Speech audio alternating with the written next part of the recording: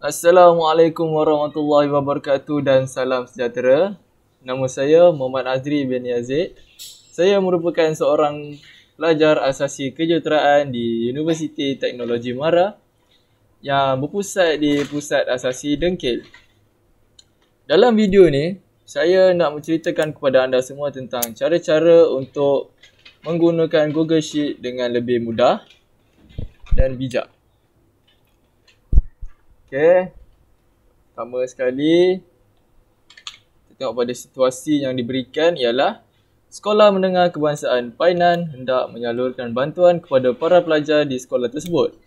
Encik Carlo ditugaskan untuk mengenal pasti dan menyaring pelajar-pelajar yang layak untuk menerima bantuan. Namun, beliau tidak mahir menggunakan perisian produktiviti seperti Google Sheet untuk melengkapkan tugasan ini anda perlu membantu Encik Carlo untuk menyelesaikan perkara ini. Okey, untuk jadual ini ialah data-data yang telah dikumpulkan oleh Encik Carlo. Di mana di sini terdapat beberapa nama pelajar yang memohon bantuan. Uh, di sini pula ialah gaji pokok dan allowance bulanan para uh, allowance bulanan penjaga mereka untuk sebulan. Okey, seterusnya ini ialah keputusan jika jumlah pendapatan mereka melebihi 5000 mereka tidak layak untuk menerima bantuan. Tetapi jika jumlah pendapatan mereka kurang atau sama dengan 5000 mereka layak untuk menerima bantuan. Jadi untuk kita selesaikan perkara ini kita perlu menggunakan Google Sheet. Okay, kita buka Google Sheet dengan tekan new tab dan pergi di sini tekan dan pilih sheets. Okay, kita dapat lihat di sini ada banyak jenis spreadsheet yang kita boleh pilih untuk tugasan ni kita pilih blank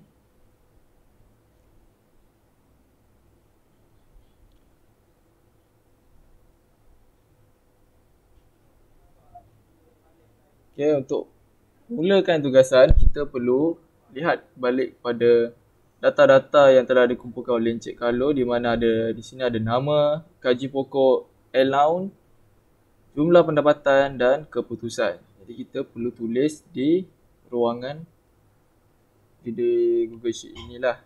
Okay, untuk sel A1 kita tulis nama.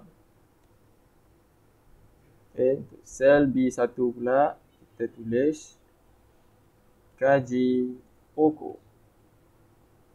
Sel C1 allow.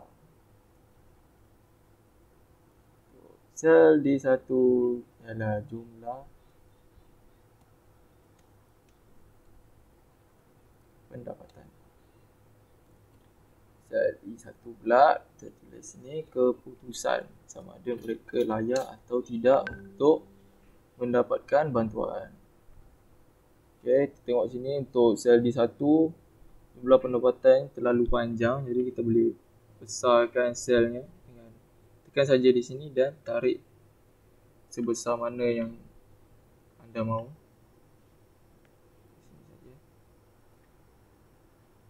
Okey. Seterusnya kita tengok balik kepada data yang telah dikumpulkan. Kita perlu pindah setiap data yang ada di sini ke dalam Google Sheet. Kita tidak perlu salin balik uh, setiap nama ni, nama Arafat, nama apa Esther, kita, kita tidak perlu salin balik. Kita hanya perlu highlight saja semua data. Copy,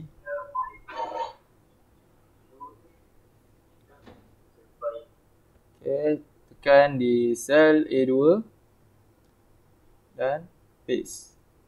Okay, kita dapat lihat semua data telah dipindahkan.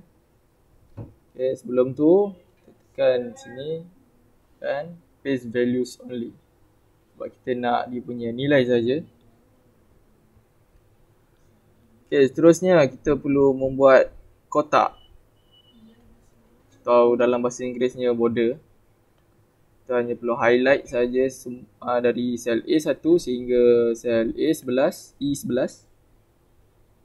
Tekan saja border, all border atau anda mau all border.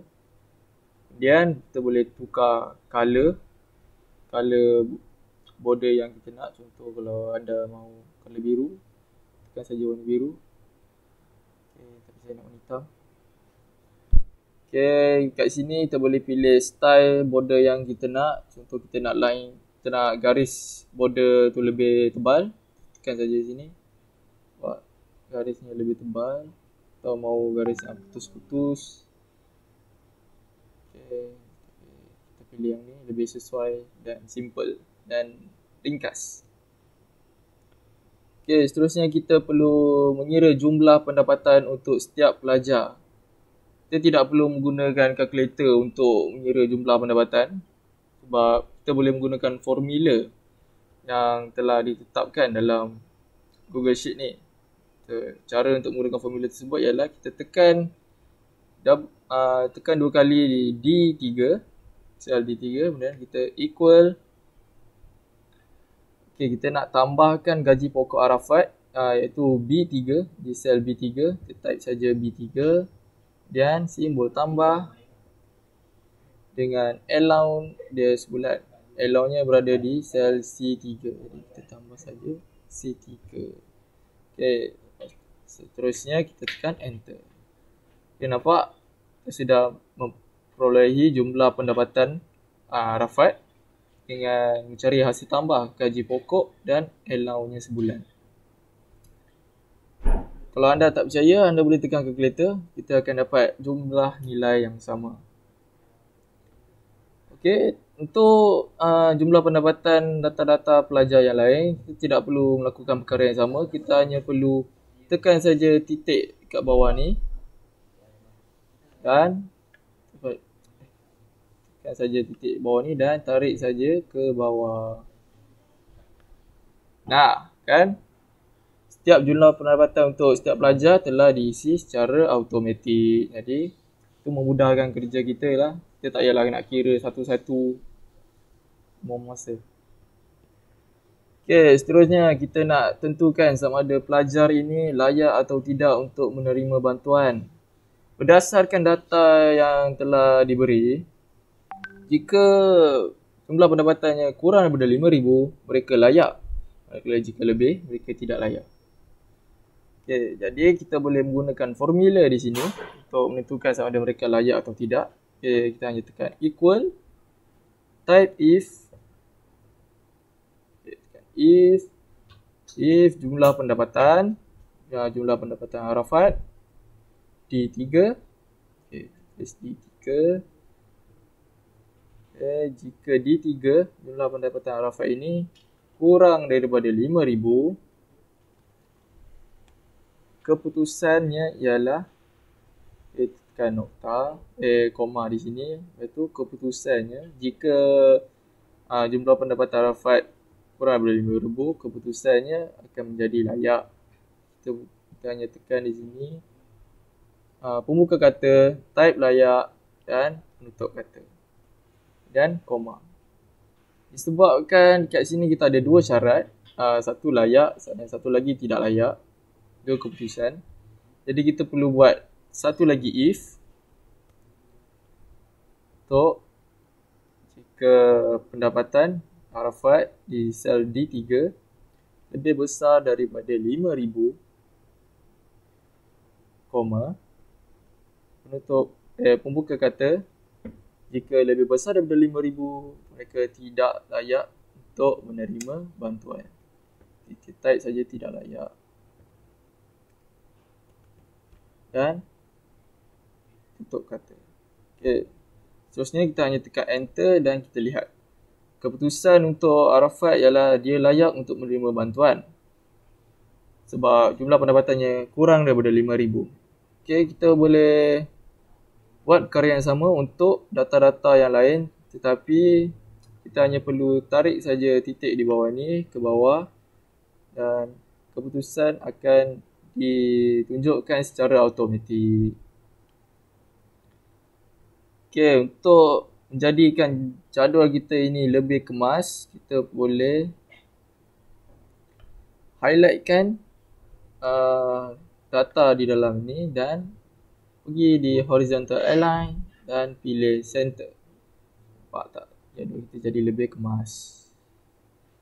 Okay, seterusnya jika anda ingin uh, mencantikkan jadual anda, hanya perlu highlight uh, uh, sel dekat atas ni dan pilih yang tekan di sini jika anda mahu warna. Ada banyak jenis warna kat sini, anda pilih sajalah warna warna kegemaran anda. Contohnya saya suka warna uh, biru. Pilihlah warna pink lah pink purple Okay, seterusnya kita dapat lihat kat sini kita punya data untuk gaji pokok, allowance dan jumlah pendapatan tiada nilai mata wang. Kita semua tahu uh, duit semua gaji pokok mesti kena ada nilai mata wang. Jadi kita tak perlu untuk tulis RM untuk setiap satu. Kita hanya perlu track saja, eh tarik saja daripada sel B3 sampai sel D11 dah pergi kat format pilih number dan Malaysia ringgit tapi kalau anda baru first baru pertama kali menggunakan cara ni anda pilih more format more currency dan kita dapat sini banyak pilihan mata wang yang ada. Jadi kita pilih Malaysia ringgit. Tekan saja dan apply. Jadi kita nampak setiap data telah ada mata wangnya sendiri. Okay, sebenarnya untuk memudahkan lagi kerja kita mengenal pasti pelajar-pelajar yang layak untuk menerima bantuan, kita boleh highlight keputusan daripada E3 sampai di E11 pergi kepada format dan pilih conditional formatting. Jadi dapat sini, kat sini ada range di mana keputusannya daripada E3 sampai E11. Okay, kat sini ada banyak jenis pilihan yang kita pilih untuk data kita tapi untuk data kita kali ini kita ambil is equal to mana lebih soal. Okay, value of formula. Maksudnya jika dalam sel itu ada perkataan layak, maka sel itu akan bertukar warna yang kita mahu. Contohnya, saya nak warna biru. Jadi, warna, saya, tekan, saya pilih warna biru. Kita tengok kat data dalam jadual kita, mana perkataan yang ada layak, dia bertukar jadi warna biru. Okay, seterusnya kita boleh tambah lagi another eh kita tambah lagi rule untuk tidak layak sebab kita ada dua keputusan kita hanya tulis tidak layak dan pilih warna yang kita mahu contohnya saya nak warna merah nah kan kita tengok ha, dekat jalan jadual ni mana keputusan yang tidak layak akan bertukar jadi warna merah jadi kita dapat lihat lah mana-mana pelajar yang tak layak dan layak dengan lebih mudah. Sebab ada color, sebab ada warna. Okay. Itu saja. Okay gang, itu saja vid- uh, untuk video kita kali ini. Saya harap video ni dapat membantu anda dan anda dapat memahami uh, cara-cara untuk menggunakan Google Sheet dengan lebih mudah dan saya harap video ni memberi manfaat lah kepada anda semua.